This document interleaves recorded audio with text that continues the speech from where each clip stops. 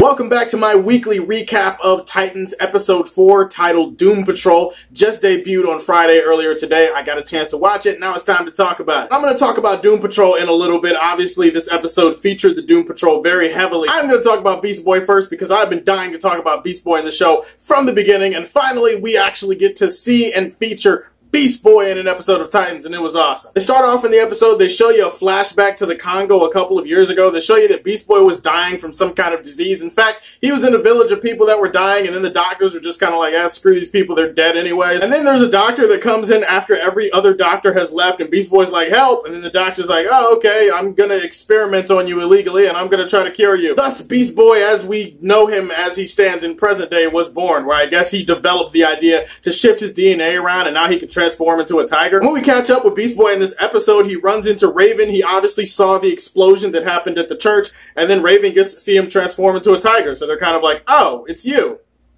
All right, let's hang out. He decides to take her back to the mansion where he lives at so he can introduce her to the rest of the Doom Patrol. Now, the one thing I will say about Beast Boy early on in this episode is that they nailed it. Like from a mannerism and characterization standpoint, that is the Beast Boy that I want to see. I think the actor's name is Ryan Potter or whatever. He just gives off this really good vibe, this really good energy. He's really likable. That's what you want from Beast Boy. Seems like in this episode, no matter who he's interacting with, he has really good chemistry. He has good chemistry with Raven. He has good chemistry with the rest of Doom Patrol, in particular Robot Man. That's just something that's really great to see. It's great to see the intro to him and his powers and his origin, sure, but it's also really great to see the way that Beast Boy interacts with people because that's the way I can envision seeing Beast Boy interact with people on a weekly basis going forward, especially when he meets the rest of the Titans. Also, not clear in the show whether they're going to call him Beast Boy or whether he's going to be Changeling, because if you read the comics, you know that he was actually Changeling at first, and then he became Beast Boy. I don't know, it doesn't really matter right now because he's not Changeling or Beast Boy, he's just Gar, or, you know, Garfield Logan or whatever. Point is, I'm very excited to see more of Beast Boy. I'm glad we got to see more of a spotlight put on him. When he takes Raven back to his home, we get to meet the rest of Doom Patrol. And if anybody didn't know, they're actually creating a live action Doom Patrol spin off series that's going to be on the DC Universe app. This was really our first real introduction to the Doom Patrol, and that's really what it felt like. It felt like an introduction, a tease of sorts. You get a little bit of background on each character, you get some really fun character interactions. Definitely Robot Man was probably the highlight of the episode for me. Definitely do feel the pain that this guy is feeling. Like there's that scene where they're having dinner and they're eating and everybody's enjoying the food, and he can't really enjoy the food because, you know, he, he's Robot Man. More to the point, could we just point out the fact that it's really great to hear Brendan Fraser's voice and see him getting some work? Man, that was like, that really warmed my heart up. Fraser is just one of those recognizable names, one of those old recognizable actors that you actually don't get to see that much anymore, but he was in a lot of really good shit growing up, especially the Mummy movies. And it's just really great to hear him and see him. You get to see Robot Man reminiscing. He's touching some pictures where it looked like Brendan Fraser was, you know, he was a race car driver or something like that. And his voice is absolutely perfect as Robot Man. So it was great to see him. It was great to see Mr. Negative. It was great to see Elastigirl. Great thing about the character interactions is that everybody felt like they fit together perfectly in the same universe. You don't want to have certain characters feeling like they belong in a different show or they belong in a different universe. Everybody feels like they fit each other like a glove. And you can tell that Raven,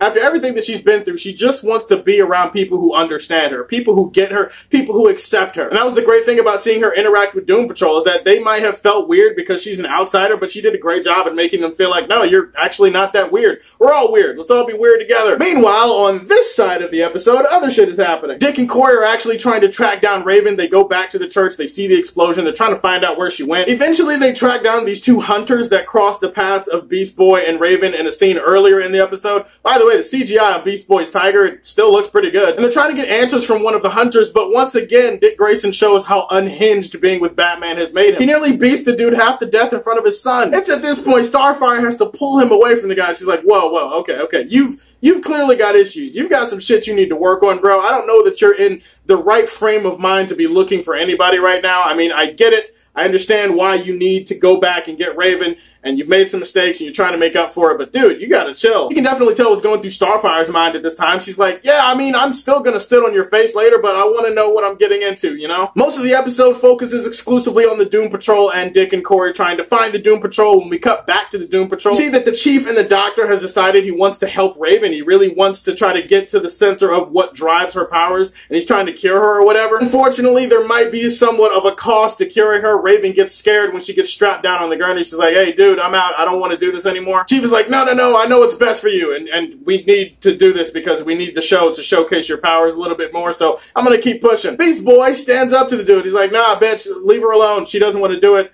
I will stand up to you. I will bite your dick off. Okay, well, okay, he's probably not thinking that, but he's thinking, I will turn into the tiger, and the tiger will bite some part of your body off in order to keep you from doing this to Raven, so please just let her go. Then he, like, sucker tranquilizes Gar, and Gar gets knocked out, and then we see Raven, and she's like, okay, it's time for Raven Unleashed. She basically Azarath Metrion Zinthoses his ass without actually saying the shit. A bunch of dark energy shit just comes out of her, and it levitates him and throws him against the wall. He breaks his back. Luckily, Dick and Kory arrive at the mansion just in time. It was kind of cool to see there was a bit of a standoff between them at first, like a Mexican standoff. The rest of Doom Patrol is just sitting there and just kind of like, okay, you need to get out of here. And Dick Grayson is like, nope, not leaving without Raven. And Starfire's like, okay, you go get her. I'll, I'll take care of these people. That one small interaction that kind of hinted that shit really could have gone down, where Robot Man and the people are stepping towards her. They're like, hey, hey, hey, we're, we're pretty tough to deal with. You don't want to mess with us. And she's like, yeah, okay. Same thing, and her eyes glowed green. Starfire's such a badass on the show, seriously. Make a long story short, Dick Grayson goes to Raven. He admits that he was wrong. He was wrong about the way he treated her. He was wrong about the advice he tried to give her.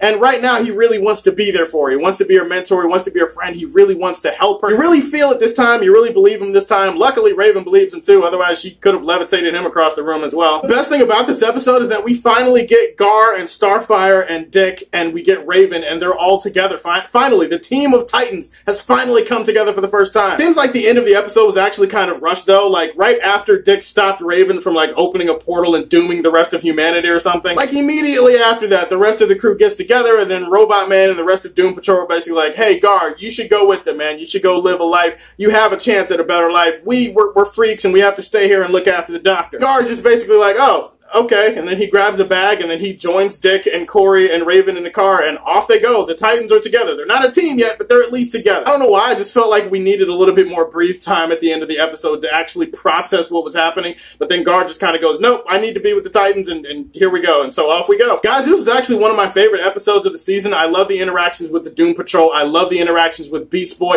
I love the little backgrounds and the little hints and teases that we got about their backgrounds and their origins and their powers. The nuclear family and the guy that I suspiciously think is like Brother Blood and the Church of Blood. They're back and they're going to be looking for Raven again. And it looks like they're going to be kicking the Titans' ass. That means we get training montages next week. Oh, it's going to be so awesome. It already looked like Starfire and Raven were combining their powers. I can't wait to see that shit. Definitely thought it was one of the stronger episodes of season one. Can't wait to see more Doom Patrol. What did you guys think of the episode? Put whatever you thought about the episode down below in the comment section. Please like and subscribe to the Superfan Show. And as always, if you like what you see, tell me how you feel and stay tuned to hear more from the Man of Steel. Peace.